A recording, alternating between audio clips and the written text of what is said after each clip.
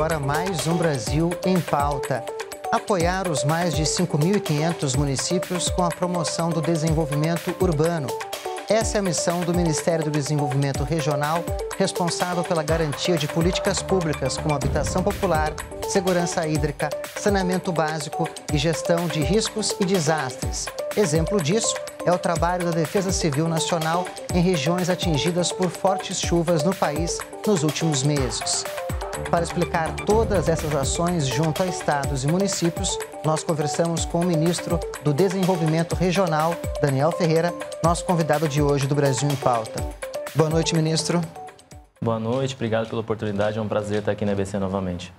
Então, como nós falamos aqui na abertura do programa, dentre essas inúmeras ações que são de responsabilidade do Ministério do Desenvolvimento Regional, tem a questão da defesa civil e desse auxílio às populações e municípios atingidos por desastres naturais, fenômenos climáticos como as chuvas.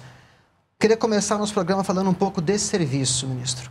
Bom, acho que o mais importante que acho que a população tem que conhecer Está todo mundo acostumado a ver quando acontece um desastre e a gente aparecendo de colete laranja no momento que aquilo está acontecendo. Mas é muito importante lembrar que a Defesa Civil Nacional faz um trabalho prévio aos desastres. Por exemplo, no caso dessas chuvas que aconteceram agora em Alagoas, em, Recife, em Pernambuco e no Nordeste como um todo, há mais de quatro meses antes da chuva, a Defesa Civil Nacional já fazia reuniões preparatórias com as autoridades locais. Então, ela falava com as defesas civis estaduais e municipais, dando orientação de como proceder caso as chuvas é, previstas para os meses posteriores fossem muito fortes e causassem algum tipo de desastre. Então, e além disso, é, ela faz um trabalho de capacitação desses agentes públicos locais. Então, só em 2022, a gente já capacitou mais de 4 mil alunos com 28 cursos à distância em parceria com a Escola Nacional de Administração Pública. E quando infelizmente acontecem né, esses fenômenos climáticos e esses desastres naturais, a Defesa Civil também age. Como é que é a ação nesses casos?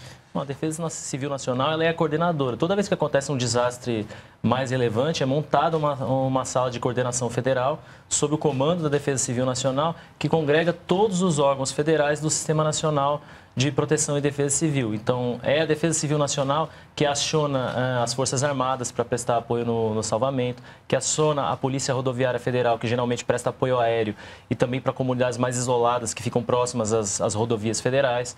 Aciona o Ministério da Saúde, que disponibiliza medicamentos e recursos para recompor as unidades básicas de saúde que acabam sendo atingidas, e o Ministério da Cidadania também, por exemplo, que é responsável por é, repassar recursos tanto para é, compra de cestas básicas, alimentação, como para instalação de abrigos e alojamentos provisórios. Agora, para tudo isso acontecer, o, estado, o município tem que ter o decreto de calamidade reconhecido, é isso? Perfeito. Então, os municípios, assim que acontece o desastre, né, é, uma, é, é quase autodeclaratório. Né? O município, o Estado, decreta o estado de emergência ou calamidade pública e ele pede o reconhecimento federal para a Defesa, Defesa Civil Nacional via sistema. O sistema chama S2ID, é um procedimento muito simples. A partir do momento que eles solicitam, em média, em 24 horas, a gente faz o reconhecimento federal e aí os municípios passam a estar habilitados a receber recursos federais para fazer o apoio. Então, são dois tipos de recursos. Né? O recurso que a gente manda para resposta, para ações de resposta e para reconstrução. O que, que é resposta? Resposta são ações de socorro e assistência humanitária, que são kits de higiene, colchões, kits de limpeza, é, combustível para equipes de resgate, alimentação para equipe de resgate e todo esse primeiro trabalho que se faz no momento em que ainda está acontecendo o desastre. E restabelecimento de serviços essenciais. Então, aquela chuva pode cortar um abastecimento de água, pode deixar as pessoas sem energia. Então, a gente passa recursos de custeio para que aquele é, serviço essencial seja restabelecido. Então, esse é um primeiro momento. Então, a partir do reconhecimento federal, em até 90 dias, os municípios e estados também podem solicitar recursos para reconstrução. Então, são recursos para reconstruir quaisquer infraestruturas públicas ou casas, né, pessoas que, fiquem, que se enquadrem no programa Casa Verde e Amarela e eventualmente fiquem desabrigadas, que a gente reconstrói. E qual é o número de municípios hoje que está sobre o estado de calamidade ou emergência e o volume de recursos que já foi repassado para fazer essas reconstruções? Perfeito. Hoje são mais de 1.200 municípios com reconhecimento federal vigente. Desde novembro do ano passado, quando começaram as fortes chuvas que acabaram se alongando para 2022, é, o Ministério do Desenvolvimento Regional já repassou 650 milhões de reais tanto para ações de resposta quanto para ações de reconstrução. Agora, nesse aspecto de prevenção, o senhor falou que tem todo esse trabalho das, das reuniões, desses multiplicadores né, nos municípios, mas também houve parcerias interessantes entre o governo federal e o Google e o WhatsApp para emissão de alertas no caso de chuvas. Como é que estão o funcionamento dessas plataformas, desses sistemas? É, o, o, o, mais importante quando a gente fala em desastre é, é, quando a gente fala das medidas de autoproteção, né? Medida de autoproteção dif, é, diferencia um desastre de uma tragédia. Sim. Então, as pessoas saberem como se comportar naquele momento pode evitar uma, uma tragédia. Então, a gente fez uma parceria com o WhatsApp, que é uma parceria inédita é, em nível mundial, que vai permitir com que as pessoas recebam em tempo real e de forma regionalizada avisos pelo WhatsApp com as medidas de autoproteção, se ela tem que sair de casa, se ela tem que permanecer em casa. Então, é, são 165 milhões de usuários de WhatsApp, que correspondem a 96% dos usuários de redes sociais no Brasil e 80%, quase 80% da população brasileira que vão ter acesso a, a esse serviço. Ele deve estar é, em pleno funcionamento em meados de setembro, outubro. Então, basta a pessoa mandar uma mensagem para 61 2034 4611, mandar um oi. Aí o, o, o, sistema vai responder e a pessoa vai ou compartilhar a localização dela ou qualquer localização que ela queira. Então, por exemplo, se a minha mãe mora em Petrópolis, que é um lugar que acontece muita chuva, ela tem 90 anos, ela vai, eu posso, eu mesma por aqui de Brasília, monitorar a situação lá da, da casa dela e posso eventualmente ligar, posso interceder por ela no momento de dificuldade. Então é, é muito significativo e coloca a Defesa Civil Nacional em outro patamar a nível mundial. E vão ter mais informações sendo trocadas do que o SMS que existe hoje. Perfeito. O SMS ainda está ativo, qualquer cidadão pode mandar é, 40, é, um SMS para 4199 com o CEP da residência que ele quer monitorar e vai receber alertas regionalizados. O diferencial do WhatsApp é o alcance. Né? São 165 milhões de usuários de WhatsApp. Né? Hoje em dia, não, é difícil você ver um plano até pré-pago de operadora de telefonia móvel que não tem o WhatsApp integralmente gratuito. Então, qualquer cidadão é, que use o WhatsApp vai poder ter acesso à ferramenta. Com o Google, também vocês fizeram uma parceria esse ano, não foi? O, a gente tem a emissão de, de alertas de autoproteção também pelo Google Alertas. Então, quando a pessoa aí com acesso à internet, ela consegue receber alertas também, em tempo real. Agora eu queria passar para um, uma outra temática que também está ali na alçada do Ministério do Desenvolvimento Regional, que é a transposição do Rio São Francisco. Como é que está a obra hoje? São dois eixos, leste e norte. Se eu não me engano, o, o leste já estava em funcionamento há um tempo, o norte é que foi concluído esse ano, não é isso? É, é uma obra fantástica, né? É a maior obra de infraestrutura hídrica da história do Brasil. Começa a se falar, se você entrar no site do Senado Federal, você vai encontrar documentos da época do Império, onde se falava já de primeiros desenhos de uma eventual transposição de São Francisco, muitos senadores do Ceará na época já defendendo isso para mitigar o problema da seca. Então, é, na, na cronologia, né, o eixo leste, que foi o primeiro que, que foi o primeiro que teve obras iniciadas, ele é concluído em meados de 2017 e em 2019 ele estava 30, 35% operacional. Então o Ministério do Desenvolvimento Regional ele fez as, as intervenções necessárias para que a água percorresse todo o, o caminho e ele ficasse 100% operacional. Então ele leva as águas ali de Floresta em Pernambuco, atravessa, atravessa o estado é quase na Bahia, né? ele atravessa o estado de ele pega em Floresta, atravessa o estado de Pernambuco e des, des, é, despeja as águas, vamos dizer assim, no Rio Paraíba em Monteiro. E o Rio Paraíba atravessa o estado da Paraíba até o litoral. Então ele evita o, o, o problema da estiagem do rio é uma obra que tem a funcionalidade direta, porque ela não depende de outras ligações, né? ela joga as águas no rio e mitiga aquele problema de estiagem. O eixo norte é, já tinha uma situação diferente, né? ele não estava com as obras físicas concluídas ainda e ele também tinha 30% de, de operacionalidade. As águas estavam praticamente no estado doador, estavam em Pernambuco. Então, é, em 2020, a gente conclui as obras físicas, foram mais de 600 reparos nas placas do, dos canais e as águas saem de Caprobó, em Pernambuco, passam por Jati. É uma imagem muito bonita. Quem tiver a oportunidade de olhar a, a foto da barragem de Jati, é uma imagem muito bonita. Passam por Jati, no Ceará, chegam em Engenheiro Ardos, na Paraíba, e as águas dali seguem para o Rio Piranhas-Açu e conseguem chegar no Rio Grande do Norte sem canal. Então elas chegam no Rio Grande do Norte pelo rio. É, então elas estão também 100% operacionais desde o ano passado, desde 2021. E o projeto da transposição, ele contemplava outras três obras. Acho que é sempre importante lembrar isso. O ramal do Agreste, é, que atravessa o Agreste Pernambucano. Então ele tinha 1% de execução em 2019, ele foi integralmente concluído e entregue. O ramal do Apodi, que está com a licitação foi concluída no ano passado e as obras já já estão já começaram. Tem ele ele é um, uma obra de 115 quilômetros de canal, ele está com 15 quilômetros de seção hidráulica mais ou menos já executadas e ele, ele, ele leva as águas para mais municípios da Paraíba, do Ceará e do Rio Grande do Norte.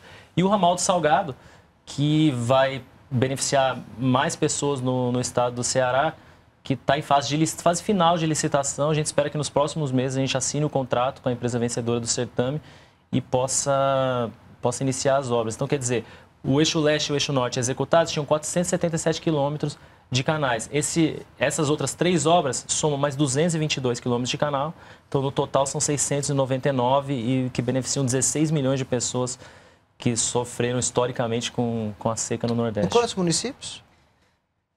É, são muitos municípios, eu não, eu não vou... Mais 300, né? Mais, mais, mais 300. certamente, certamente. Então, são, por exemplo, só o ramal do Salgado ele vai beneficiar toda a região, metropol... região metropolitana de Fortaleza, mais de 4 milhões de pessoas. Então é, é bastante gente que, que viveu numa castigada. Acho que só quem vai lá, quem anda por lá, para ter uma, um, um pouco da dimensão do que, que é uma condição climática histórica que castiga essas pessoas. Né? O, o Brasil ele tem 12% do seu território no semiárido e 3% da disponibilidade hídrica só nesses locais. Então a transposição de São Francisco ela está realmente emancipando a população do Nordeste setentrional. Ministro, a gente vai para um rápido intervalo agora, mas eu já queria deixar uma pergunta para o senhor retomar na volta do bloco, que é a política habitacional uh, para combater esse déficit histórico que, que, existe no país. Então, quando a gente voltar, a gente retoma essa questão. Tá, já. Voltamos em instantes com o ministro do Desenvolvimento Regional, Daniel Ferreira, no Brasil em Pauta. Não saia daí, até já.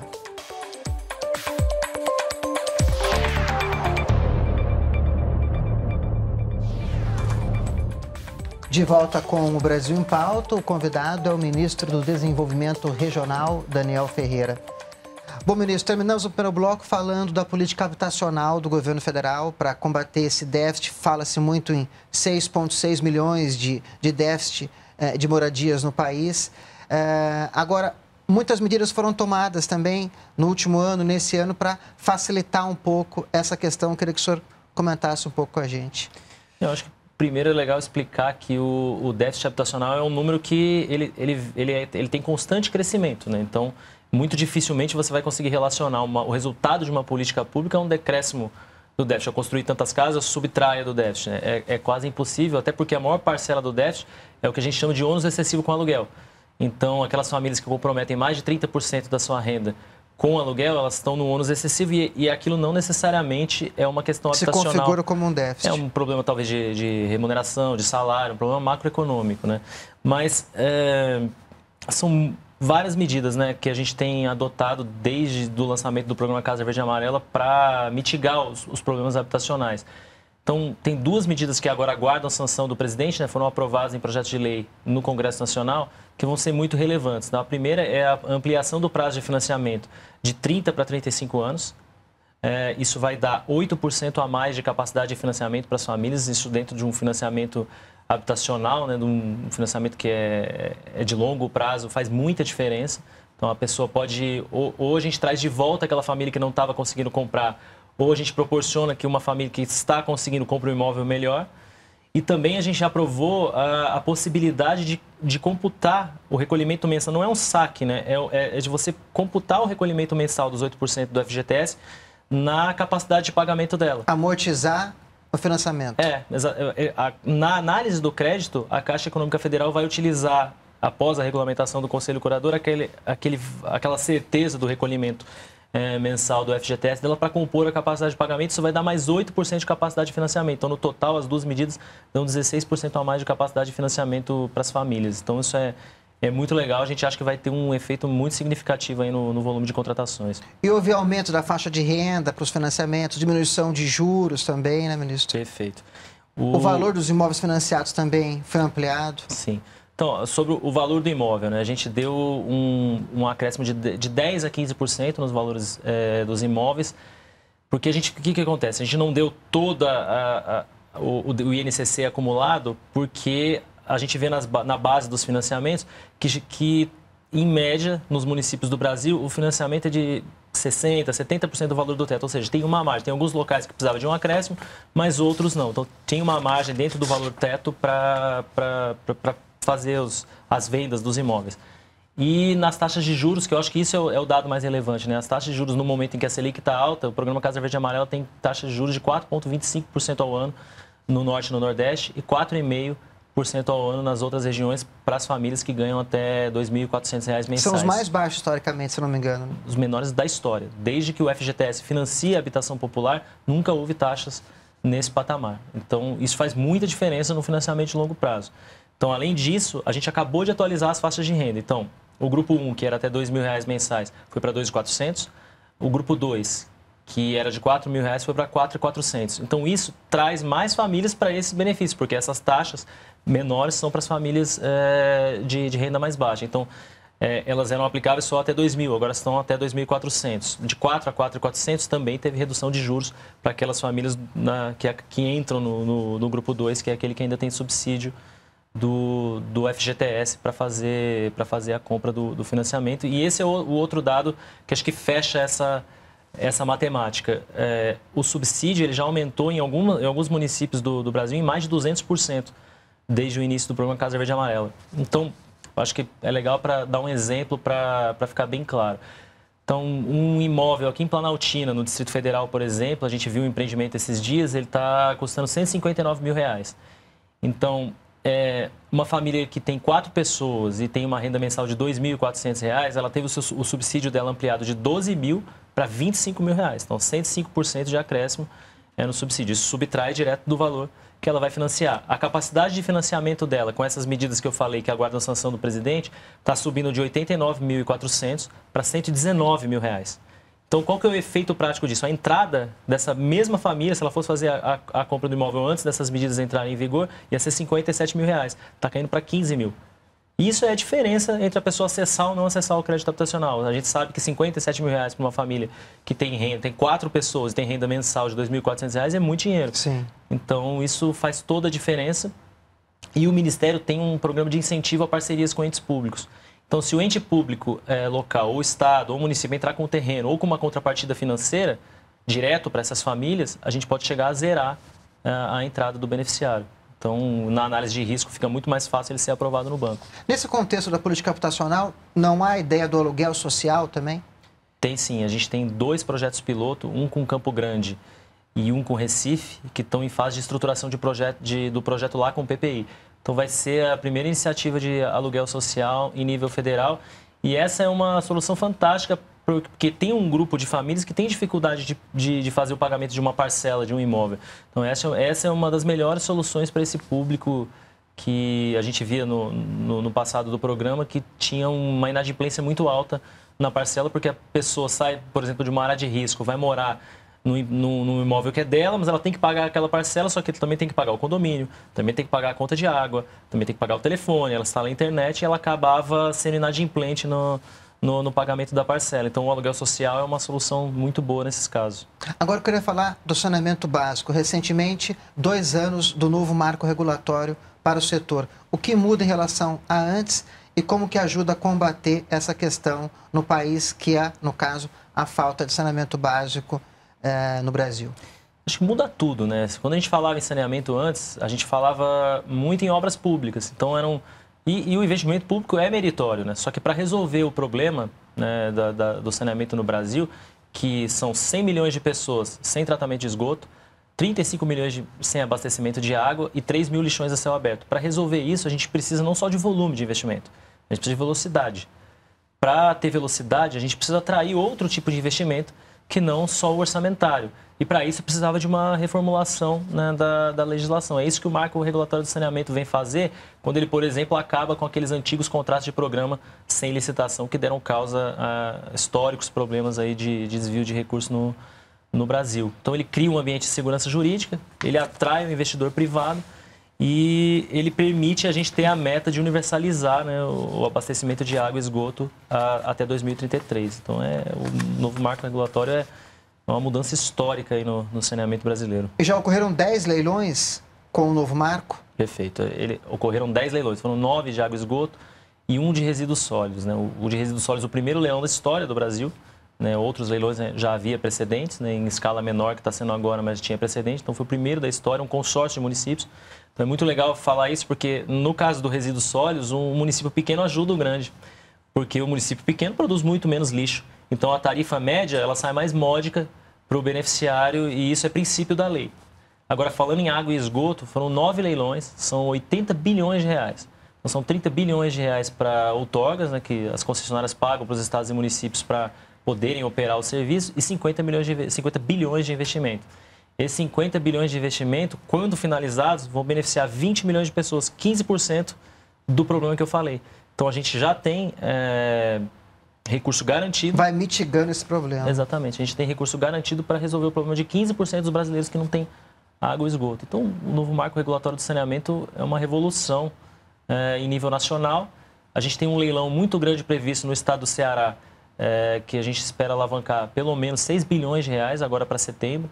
Então, muito dificilmente, com recurso orçamentário, seja da União, dos estados, dos municípios, um único estado da região Nordeste receberia 6 bilhões de reais de investimento de uma vez só para saneamento básico. Então, é, é muito significativo o que tem acontecido. É, e a gente viu um último exemplo para finalizar, recentemente notícias sobre a Baía de Botafogo, né, a praia de Botafogo no Rio de Janeiro, historicamente imprópria para banho, com águas cristalinas e próprias para banho em dois boletins, justamente porque come começaram os investimentos uh, advindos do leilão da SEDAI no Rio de Janeiro. Nós temos, nós temos três fundos constitucionais, do Norte, Centro-Oeste e Nordeste, criados pela Constituição de 1988. Eles recebem recursos e financiam empreendimentos nestes, uh, nessas regiões para empreendedores, agricultores familiares. Uh, e o aporte de recursos e as operações de janeiro a maio desse ano em relação ao ano passado tiveram um aumento, não é isso, ministro? Perfeito. Eles tiveram um acréscimo de 41%, são 6 bilhões de reais a, a mais de contratação. Os fundos constitucionais eles têm um mecanismo muito interessante, né? porque eles têm uma receita constitucional, né? como o próprio nome diz, de 3% de toda a arrecadação da, da União com o imposto de produtos industrializados e do imposto de renda, ela é distribuída para os fundos constitucionais. Então, os três juntos, eles têm uma receita advinda dessas, é, arrecada, dessa arrecadação de impostos de 15 bilhões de reais por ano. Só que com o histórico dos financiamentos, eles já têm receita própria da carteira de projetos. Eles são autossustentáveis. Não houvesse esse aporte, eles cons conseguiriam continuar sozinhos, porque com as receitas anuais, somadas a esses 15 bilhões, eles têm 50 bilhões por ano para conceder é, de crédito. E o legal é que ele, é, ele, ele, eles chegam nas mais diversas atividades produtivas. Então, desde o, o pequeno agricultor rural, é, o pequeno produtor de leite, que pode tomar um financiamento pessoa e como física. que as pessoas podem tomar esse financiamento? Procurando os bancos regionais. Então, no caso do, do, do Norte, o BASA, né, o Banco da Amazônia. No caso do Nordeste, o banco, o BNB, o Banco do Nordeste. E no caso aqui do Centro-Oeste, o Banco do Brasil.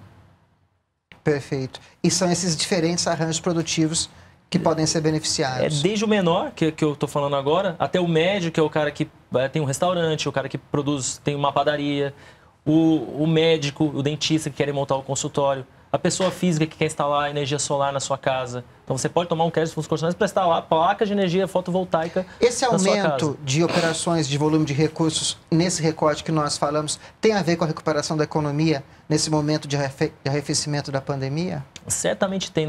É difícil encontrar outra explicação. Né? Na medida que 65% desse, desses financiamentos do, do fundo estão indo para o mini, para o micro e para o pequeno empreendedor que são é aquele público que mais sofreu com a pandemia. E também vem de medidas que a gente tem historicamente adotado. Então a gente editou, por exemplo, uma medida provisória em 2020 que já foi convertida em lei, mudando a estrutura de, de, taxa, de, de taxas de juros do, dos financiamentos. Então, o setor empresarial, ele tem taxas pré-fixadas agora, ele não tinha antes. Isso dá mais atratividade para o funding. Né? Então, no caso do setor rural, as taxas chegam a 6% para projetos rurais e no caso de projetos urbanos, 7,5% as menores taxas. Então, é bem atrativo nesse momento. E a inadimplência historicamente é baixa, não é isso? A inadimplência é baixa.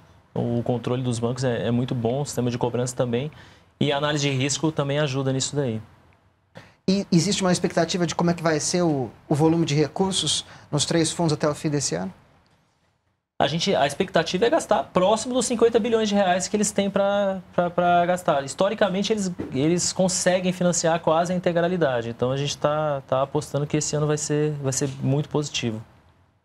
Ministro, muito obrigado pela entrevista aqui no Brasil em Pauta. Já deixo o convite para o senhor voltar esse ano ainda. Eu que agradeço, a gente está sempre à disposição.